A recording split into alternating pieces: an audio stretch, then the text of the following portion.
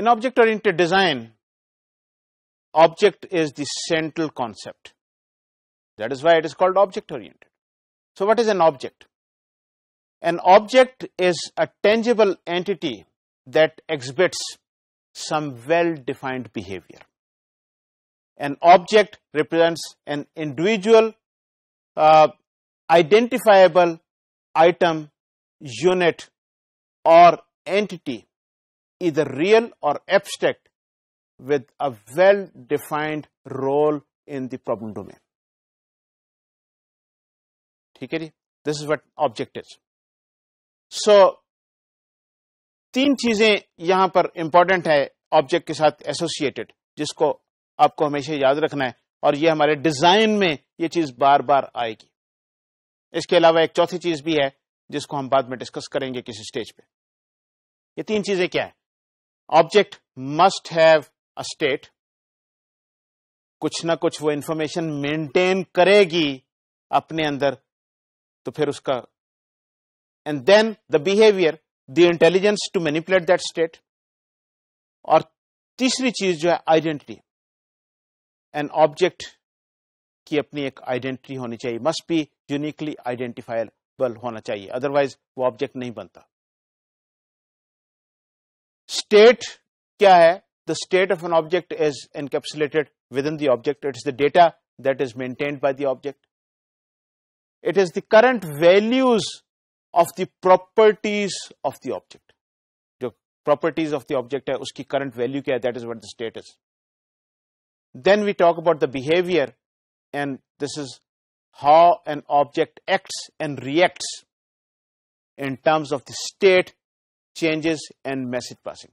जब उसे कोई मैसेज पास किया जाता है, जब उसको कोई सर्विस उससे रिक्वायर्ड होती है तो वो कैसे एक्ट एंड रिएक्ट करती है और उसकी स्टेट कैसे चेंज होती है this is what the behaviour is यहाँ पर ही सारी इंटेलिजेंस सिस्टम की इधर ही पड़ी होती है। How it acts and reacts this is the part of system intelligence delegated to the object हमने कहा था कि in the object oriented world जो सिस्टम इंटेलिजेंस जो है, वो डिफरेंट ऑब्जेक्ट्स में बिखरी होती तो this is where it is delegated her object के पास अपनी इंफॉर्मेशन है और उसे पता है कि इस इंफॉर्मेशन को कैसे मैनेज करना है। इससे, इसे यूजफुल काम कैसे किया जाएगा। And third thing is the identity ये बड़ा ज़रूरी है। आइडेंटिटी किस चीज़ का नाम है? जिस तरह मेरा एक नाम है लेकिन फखर लोदी नाम के और भी लोग हो सकते हैं। तो that is not my identity really अगर आप गूगल करेंगे फखर लोधी तो आपको हो सकता है कोई बेशुमार लोग मिल so what is an identity identity is that property of an object which distinguish it from all other objects जो मेरी है किसी के साथ मैं शेयर नहीं कर रहा। अब वो क्या चीज़ें हैं? फॉर एग्ज़ाम्पल मेरा नेशनल आईडी कार्ड नंबर है, वो मेरी आइडेंटिटी है। फॉर एग्ज़ाम्पल मेरा ईमेल एड्रेस है, वो मेरी आइडेंटिटी है। फॉर एग्ज़ाम्पल मेरा टेलीफोन नंबर है, वो मेरी आइडेंटिटी है। ये शेयरेबल नहीं है। तो नाम इज़ नॉट एन आइडेंटिटी ठीक है जी? आइडेंटिटी क्यों ज़रूरी है? जब आप फॉर एग्ज़ाम्पल लेट से एक मैसेज भेजें कि जी, फखर लोदी मुझे ये चीज़ चाहिए आपसे। अच्छा जी। ये किसने प्रोवाइड करना? Who is that Fakhar Lodhi मुझे क्या पता कि आप मुझे कह रहे हैं। तो जब तक यूनिकली आइडेंटिफाइबल वो चीज़ नहीं होगी, जब तक वो मेरे मेल सिस्टम में, मेरी मेल उस बॉक्स में वो मैसेज नहीं आएगा, मैं आपको उसकी रिस्पांस नहीं दे सकता।